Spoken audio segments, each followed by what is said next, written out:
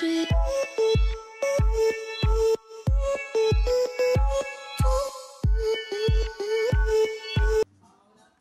what's up guys? Welcome to Rafa's Garage. Today um, I'm actually removing the rear seats because like I said my previous video I was going to take them off. The reason why they were on is because my girl needed them. Uh, and now since I lowered it um, I'll do a walk around of how it looks now all the way around.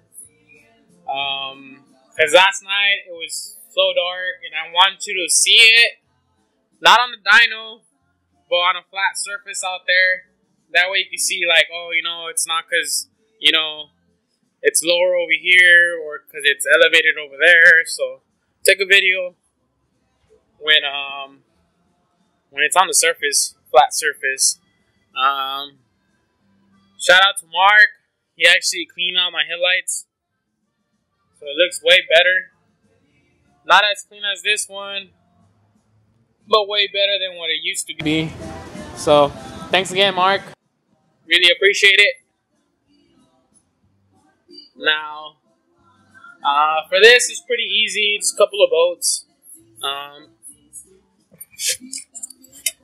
you got two bolts here. I'm also removing this plastic and the seat belts because I don't need them anymore. Which are just a couple of 14s, 10s, and 10s down here. Um, I'm removing the whole thing for weight reduction.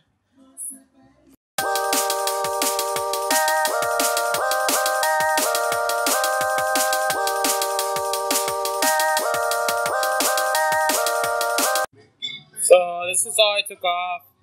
Basically the back seat, the bottom cushion, uh, the two plastic panels, the seat belts, both the strap and the click, the things to hold the seats, and those the bolts that I took off. So easily I took good like 10 pounds off of there. Um, on these, I ended up cutting one of the uh, panels that way because I didn't like this. It looks a little ugly to me personally.